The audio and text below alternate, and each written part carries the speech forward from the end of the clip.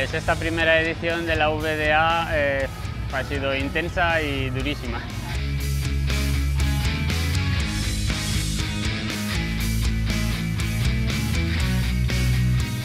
The race for me was just, uh, yeah, probably the best race I've ever had.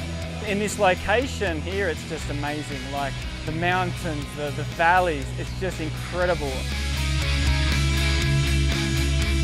La, la, carrera de aquí de la Vall para mí es una carrera excelente, o sea, yo les puedo dar un sobresaliente como organización, como trato al corredor, como el evento que han montado en estos días, entonces, bueno, estoy muy contento. Yeah, so this uh, first edition of VDA will be, I'm just like stunned by the beauty of the mountains and also like the whole atmosphere and all the people in the villages and like also the, the race itself. I think it's amazing. It was a quite long uh, journey and uh, I really suffered and uh, I enjoyed suffering. I'm so exhausted and in pain, and uh, I, but uh, I feel really good. Race was absolutely stunning. I thought it was a lot more technical than I was expecting, but the views just made all of the climbs feel a lot easier.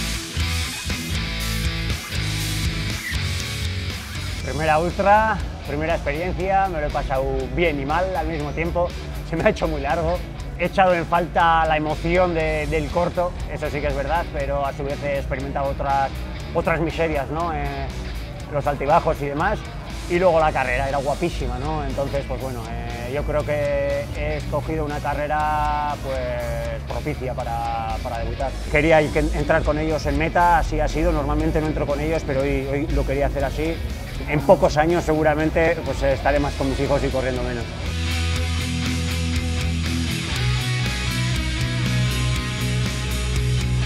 Quería llegar lo más rápido a meta ya para poder tocar la campana porque era lo que más ilusión me hacía, poder tocarlo. Es la primera vez, la verdad, que toco una campana realmente.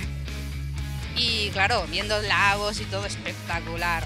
Lo demás, pues muy bonito, a mí me ha encantado el recorrido. Mi próximo objetivo es ir a la OSS, y a ver cómo va la cosa. Al ser una distancia más corta y rápida, a probar ahí.